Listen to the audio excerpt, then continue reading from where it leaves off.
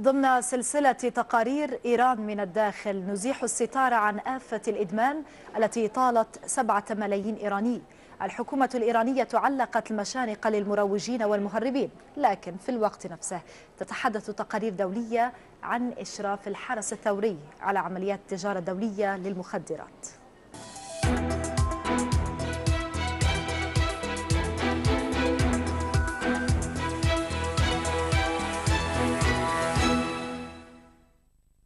ستة ملايين مدمن في إيران.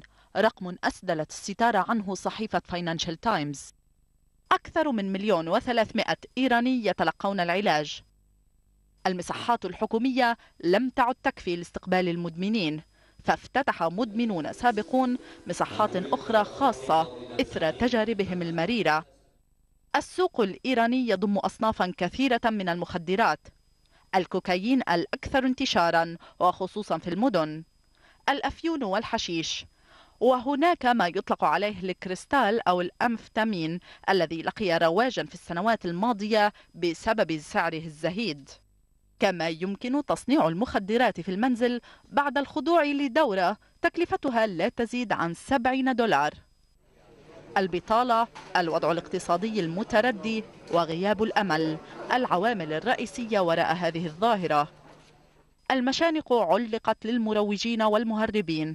الرؤساء المتعاقبون على إيران وعدوا بالقضاء على هذه الظاهرة. لكن ما حصل هو العكس. فنسبة المدمنين ترتفع يوما بعد يوم. وهناك ما صنفه المراقبون بالأخطر.